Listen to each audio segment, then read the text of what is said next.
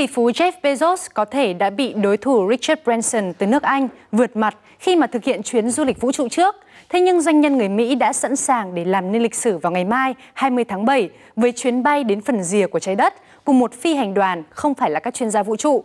Sự khác biệt này đặt ra một câu hỏi là trải nghiệm không gian của tỷ phú nào sẽ thú vị hơn.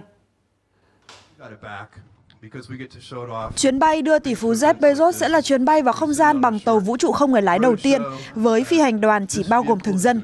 Công ty Blue Origin đã thiết kế tàu New Shepard, một tổ hợp gồm tên lửa và khoang phi hành có thể bay hoàn toàn tự động. Điều đó có nghĩa là các máy tính sẽ kiểm soát mọi thứ và không cần phi công kiểm soát chuyến bay. Điều này sẽ làm nên sự khác biệt với chuyến bay của tỷ phú Richard Branson.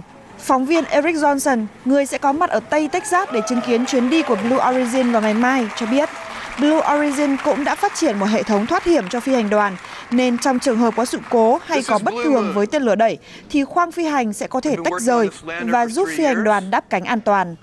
Tuy nhiên, không chỉ sự an toàn, một câu hỏi mà các hành khách thương mại tiềm năng muốn bay vào không gian vẫn đang thắc mắc, đó là trải nghiệm bay vào vũ trụ của tỷ phú nào thú vị hơn. Điều quan trọng là làm khách hàng cảm thấy ấn tượng về chuyến bay. Cho dù khách hàng của chúng ta là ai, là chuyên gia hay thường dân, thì đừng chỉ làm hài lòng họ một cách chung chung, hãy làm họ không thể quên được trải nghiệm này. Thế giới đã được chia sẻ trải nghiệm chuyến bay của tỷ phú người Anh Branson trong môi trường không trọng lực và nhiều người kỳ vọng chuyến bay ngày mai của tỷ phú Bezos sẽ khác biệt hơn. Mục tiêu của chúng tôi là đưa con người trở lại mặt trăng, không phải chỉ lên đó dạo chơi đâu, mà sẽ là định cư trên đó.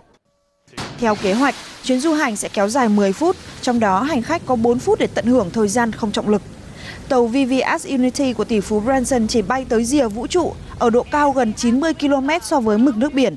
Trong khi đó, tàu vũ trụ Blue Origin của tỷ phú Bezos sẽ bay tới độ cao gần 100 km so với mực nước biển, vượt qua đường Kármán, được xem là ranh giới giữa không gian bên ngoài và bầu khí quyển của trái đất, sau đó sẽ quay trở lại trái đất.